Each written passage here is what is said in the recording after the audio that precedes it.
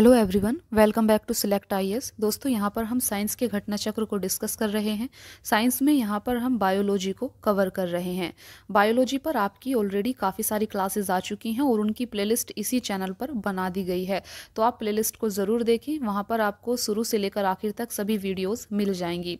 आज का हमारा टॉपिक है शवशन तंत्र। तो शवशन तंत्र से रिलेटेड प्रीवियस ईयर में आपसे जितना भी क्वेश्चन पूछा गया है, उन्हें हम यहाँ पर डिस्कस करेंगे।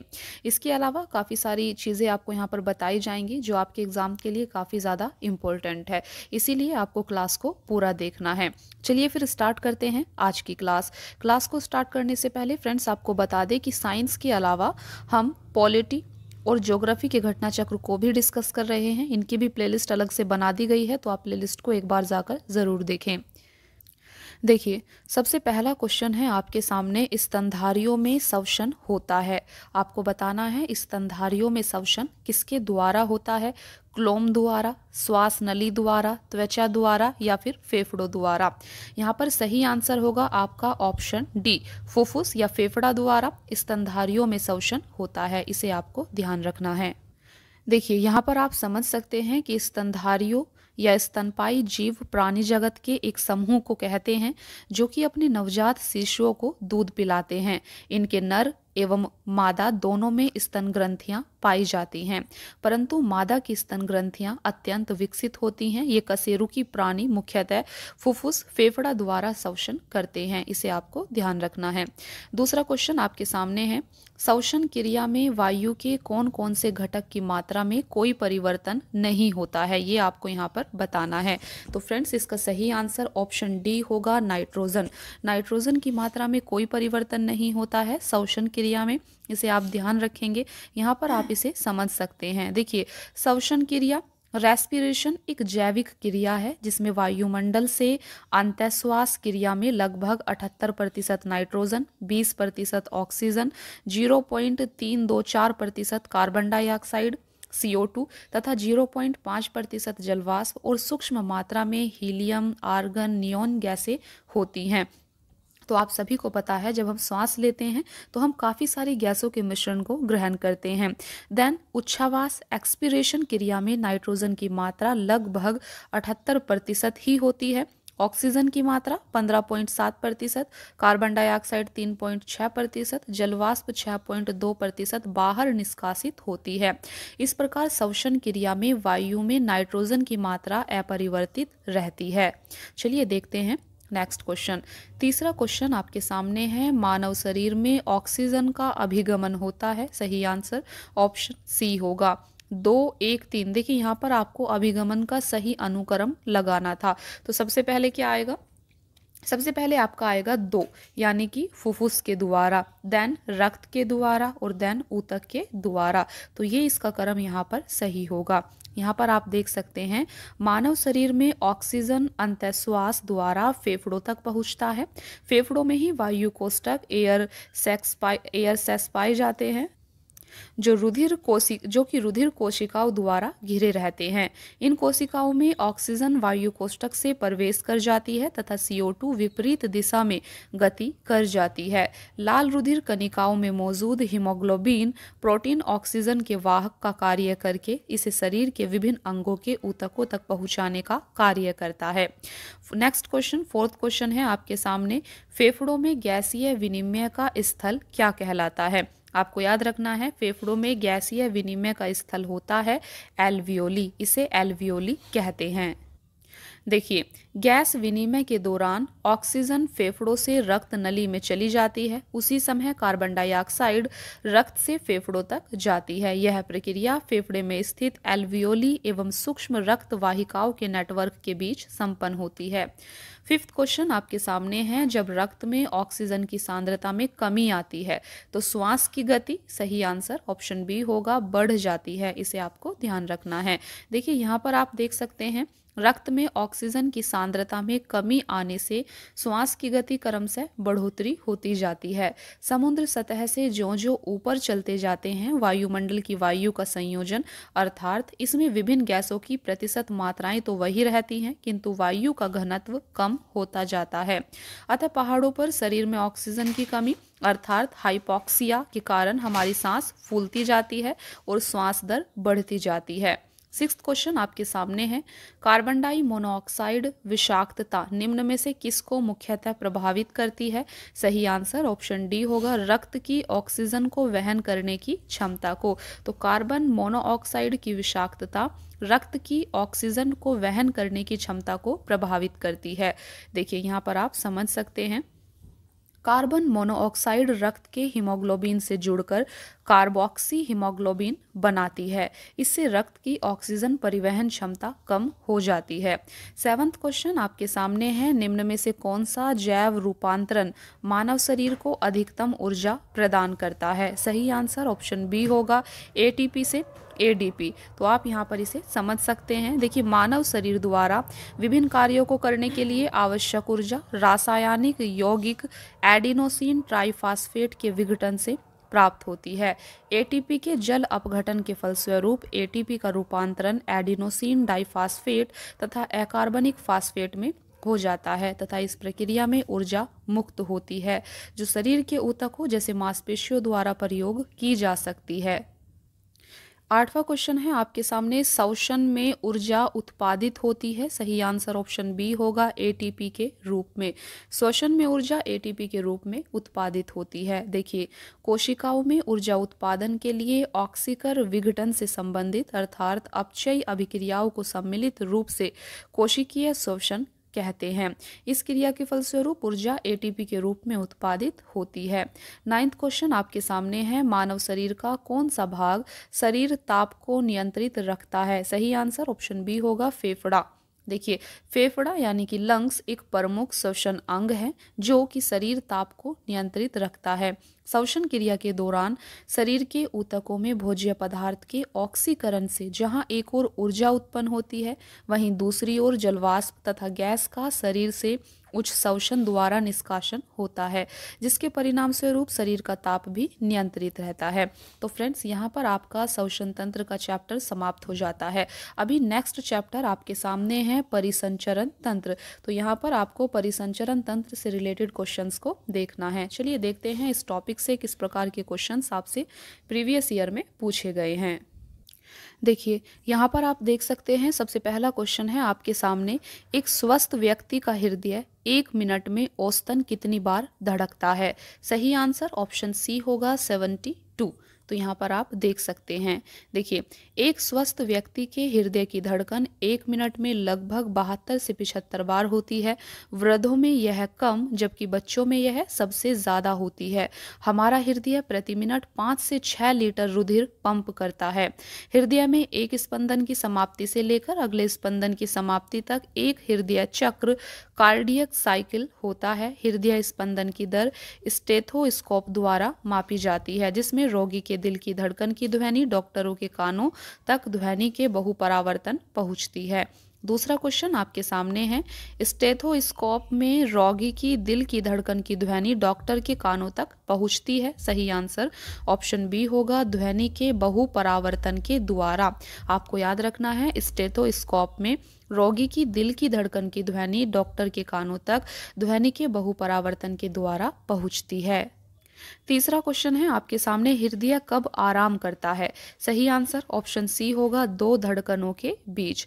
हृदय कब आराम करता है? तो हृदय दो धड़कनों के बीच आराम करता है। देखिए, हृदय एक मांसल तंत्र है, सामान्यतः यह व्यस्क मनुष्य में बहत्तर से पिछहत्तर बार प्रति मिनट धड़कता है। हृदय दो धड़कनों के बीच आराम करता है। दो संकुचनों के बीच का काल विश्राम अथवा शिथिलन काल कहलाता है। इसमें संकुचन के दौरान आगे बढ़ा हुआ रक्त जब धमनियों के रिक्त स्थान में प्रवेश पाता है, तब धमनी की दीवार और रक्त में संघर्ष होता है और रक्त का दबाव बढ़ जाता है। अतः हृदय के दो संकुचनों के बीच धमनियों में जो रक्त भार रहता है, उसे विश्रामकालीन रक्तचाप कहते हैं। फोर्थ क्वेश्चन आपके सामने है, निम्न में से कौन सा लक्षण हृदय घात से संबंधित नहीं है। सही आंसर ऑप्शन डी होगा टांगों में दर्द। तो टांगों में दर्द का होना यह हृदयाघात, हार्ट अटैक से संबंधित नहीं है, जबकि सीने में दर्द, बाह में दर्द एवं झंझनाहट, पसीना एवं जी मिचलाना, ये सब हृदयाघात के लक्षण हैं। तो यहाँ पर आप समझ सकते हैं। सीने में दर्द, पसीना एवं जी मिचलाना जी मचलाना बाह में दर्द तथा झंझनाहट होना इत्यादि लक्षण हृदयाघात या हृदय रोग से संबंधित है, जबकि टांगों में दर्द होना हृदयाघात से संबंधित नहीं है। मोटापा उच्च तनाव, धूम्रपान, स्थानबद्ध जीवन शैली वसा युक्त आहार इत्यादि इस रोग के प्रमुख कारण होते हैं, जिसके उपचार हेतु रुधिर स्कंदन रोधी औषधियों का उपयोग किया जाता है।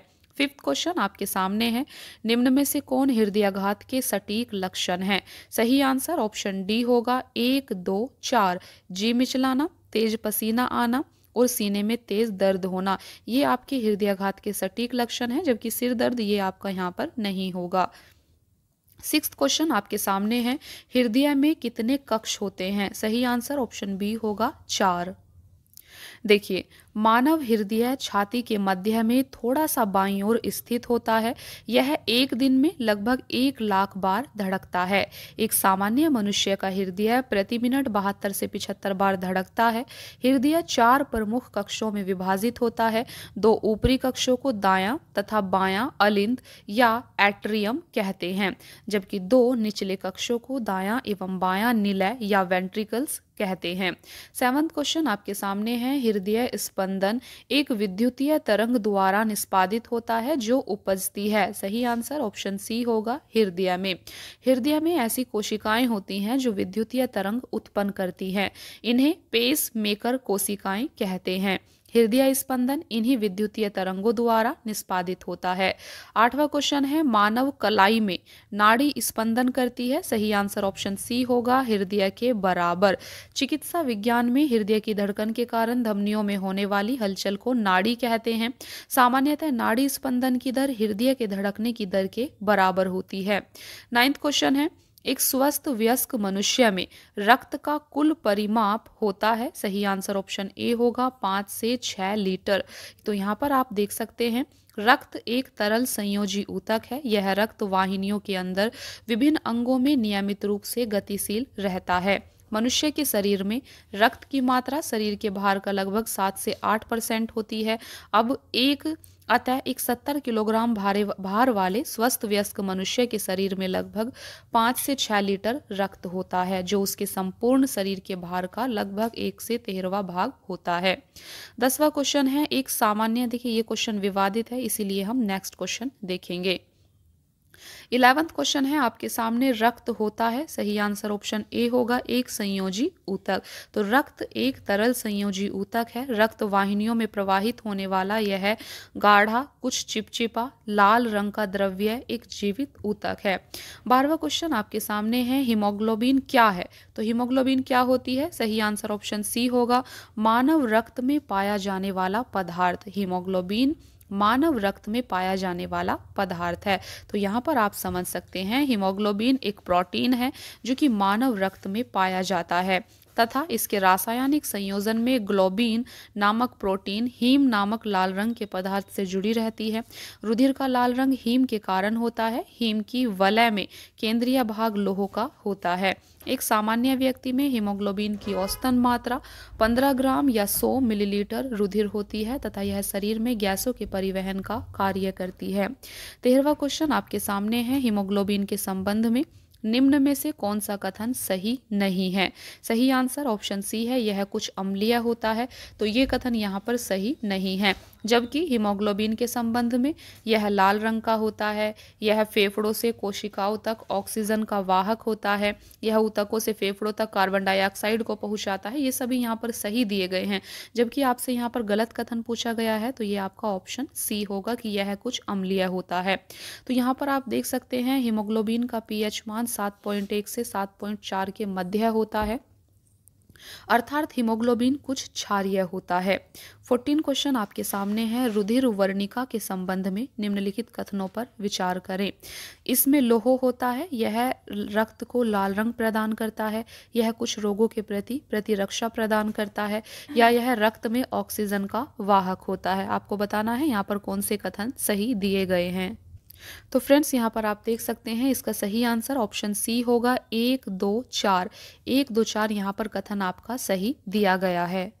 देखिए, आप देख सकते हैं, पहला कथन कहता है, इसमें लोहो होता है। तो ये आपका सही है। दूसरा कहता है, यह रक्त को लाल रंग प्रदान करता है। और चौथा कथन कहता है, यह रक्त में ऑक्सीजन का वाहक होता है। तो एक, दो और चार कथन आपके रुधिर वर्णिका के संबंध में सही दिए गए हैं। पंद्रहवा क्वेश्चन है हीमोग्लोबिन के बारे में निम्नलिखित कथनों पर विचार कीजिए। सबसे पहला कथन, यह रक्त में ऑक्सीजन का संचार करता है। तो ये कथन आपका सही है। यह लोहो युक्त यौगिक है, ये कथन भी आपका सही है। देन यह कुछ रोगों के प्रति प्रतिरक्षा प्रदान करता है, ये कथन यहाँ पर गलत हो जाएगा। यह रक्त को लाल रंग प्रदान करता है तो ये कथन आपका सही है। ऑप्शन डी एक, दो, चार कथन आपके यहाँ पर सही दिए गए हैं हीमोग्लोबिन के बारे में। इसीलिए आपको इनको याद रखना है। देखिए, यहाँ पर आप समझ सकते हैं। सिक्सटीन क्वेश्चन आपके सामने है। शरीर में हीमोग्लोबिन का कार्य है। सही आंसर ऑप्शन ए होगा ऑक्सीजन का परिवहन करना। सत्रहवा क्वेश्चन है, निम्न में से किस प्राकृतिक पदार्थ में लोहो विद्यमान होता है? सही आंसर ऑप्शन डी होगा मायोग्लोबिन आपको याद रखना है मायोग्लोबिन में लोहो विद्यमान होता है। देखिए, मायोग्लोबिन लगभग सभी स्तनधारियों सामान्यतः कसेरुकी प्राणियों के पेशीय ऊतकों में पाया जाने वाला एक प्रोटीन है। लोहो इसका आवश्यक घटक है। अठारवा क्वेश्चन है, किस प्राणी के जीवद्रव्य में हीमोग्लोबिन का विलय हो जाता है? सही आंसर ऑप्शन डी होगा, केंचुआ। तो केंचुए के जीवद्रव्य में हीमोग्लोबिन का विलय हो जाता है, यहाँ पर आप समझ सकते हैं। केंचुआ एक एनिलिड प्राणी है, जिसमें हीमोग्लोबिन प्लाज्मा में घुला होता है। जबकि अन्य कसेरुकियों में यह प्रोटीन लाल रुधिर कनिकाओं में पाया जाता है। केंचुए में रुधिराणु रंगहीन और केंद्रक युक्त होते हैं और इस जंतु में परिसंचरण तंत्र बंद प्रकार का होता है। उन्नीसवा क्वेश्चन है, रक्त में लाल रंग निम्न में से किसके कारण होता है? सही आंसर ऑप्शन बी होगा हीमोग्लोबिन बीसवा क्वेश्चन है, लाल रक्त कनिकाओं का रंग होता है। सही आंसर ऑप्शन डी है हीमोग्लोबिन के कारण। तो लाल रक्त कनिकाओं का रंग लाल, उसमें हीमोग्लोबिन नामक प्रोटीन के ऑक्सीजन से संयुक्त होने के कारण होता है।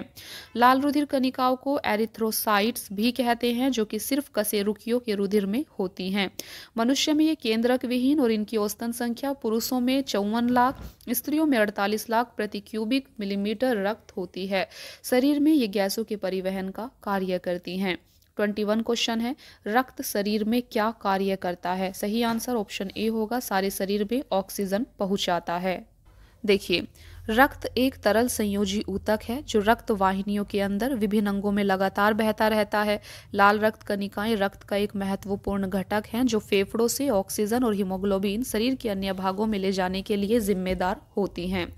बाईसवा क्वेश्चन है, मनुष्य का औसत रक्तचाप होता है। सही आंसर ऑप्शन डी होगा 120 बाई 80 तो यहाँ पर आप देख सकते हैं, मनुष्य का औसत रक्तचाप 120 बाई 80 होता है।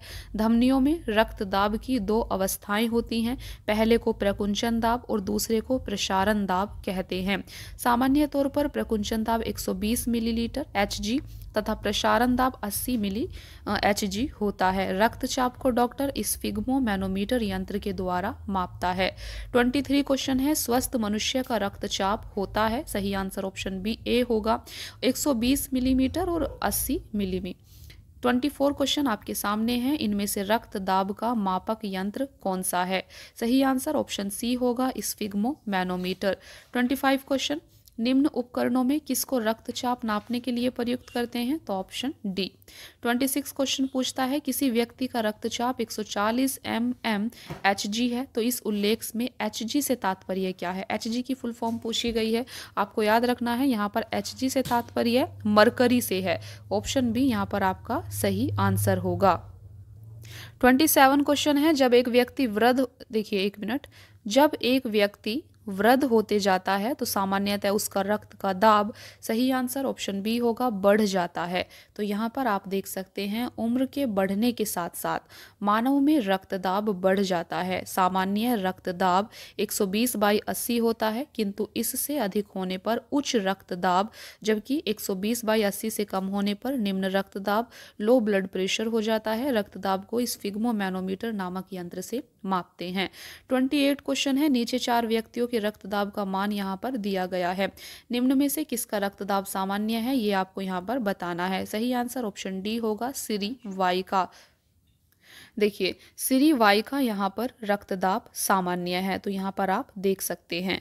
देखिए सिरी वाई का रक्तदाब सामान्य है क्योंकि एक स्वस्थ, व्यस्क मानव का रक्तदाब लगभग 120 बाई 80 होता है। 29 क्वेश्चन है आपके सामने। हमारे शरीर में रक्त का दाब होता है। सही आंसर ऑप्शन बी होगा। वायुमंडलीय दाब से अधिक। हमारे शरीर में रक्त का दाब वायुमंडलीय दाब से अधिक होता है। देखिए, जब कोई डॉक्टर हमारा रक्तचाप नापता है तो वह वायुमंडलीय दाब के सापेक्ष होता है। उदाहरण के तौर पर यदि डॉक्टर द्वारा नापा गया रक्तदाब 120 एम है। इसका अर्थ यह है कि यह दाब वायुमंडलीय वायुमंडलीय दाब से 120 एम अधिक है। रक्तचाप का मापन वायुमंडलीय दाब के सापेक्ष होता है, जबकि वायुमंडलीय दाब निर्वात के सापेक्ष मापा जाता है। अतः निर्वात के सापेक्ष रक्तचाप यहाँ पर आप देख सकते हैं। थर्टी क्वेश्चन आपके सामने है। निम्न रक्त वर्ग सार्वत्रिक दाता होता है। आपको बताना है यूनिवर्सल डोलर यूनिवर्सल डोनर। कौन सा रक्त वर्ग होता है? सही आंसर ऑप्शन बी होगा। तो ये होता है आपका ओ। रक्त वर्ग ओ यूनिवर्सल डोनर होता है, क्योंकि इसमें कोई प्रतिजन, एंटीजन नहीं होता है। अतः इसका रुधिर सभी वर्ग के व्यक्तियों को चढ़ाया जा सकता है। दूसरी ओर, इस वर्ग के प्लाज्मा में दोनों प्रतिरक्षियों एंटीबॉडीज की उपस्थिति के कारण किसी भी अन्य वर्ग के व्यक्ति का रुधिर इस वर्ग के व्यक्ति को नहीं चढ़ा सकते हैं। रक्त वर्ग ए बी, सर्वग्राही होता है, इसे आपको याद रखना है। थर्टी वन क्वेश्चन है, मानव रक्तदान के लिए कौन सा रक्त समूह सार्वत्रिक दाता यूनिवर्सल डोनर होता है? सही आंसर ऑप्शन बी होगा ओ समूह। थर्टी टू क्वेश्चन यहाँ पर है, अभिकथन और कारण। अभिकथन, ए, बी रक्त समूह के लोग सार्वभौमिक प्राप्तकर्ता होते हैं। कारण रक्त समूह ए, बी की लाल रक्त कोशिका में कोई एंटीजन नहीं होता एवं इसीलिए अन्य किसी रक्त समूह के साथ समूहन नहीं होता है। आपको बताना है कौन सा यहाँ पर सही होगा? सही आंसर ऑप्शन सी है। ए सही है, परंतु आर गलत है। इसे आप यहाँ पर समझ सकते हैं। ए बी रक्त समूह के लोग सार्वभौमिक प्राप्तकर्ता होते हैं, क्योंकि इनमें एंटीजन ए और बी दोनों होते हैं, तथा कोई एंटीबॉडी नहीं होती है, जिसके कारण एग्लूटिनेशन नहीं होता, अतः ए बी रक्त वर्ग वाले व्यक्तियों को किसी भी रक्त वर्ग का रक्त दिया जा सकता है। थर्टी थ्री क्वेश्चन है, वर्ग ए बी रक्त वाला व्यक्ति किसी ऐसे व्यक्ति का रक्त ले सकता है, जिसका रक्त वर्ग ऑप्शन डी यहाँ पर सही आंसर होगा, कोई भी वर्ग हो। थर्टी फोर क्वेश्चन है।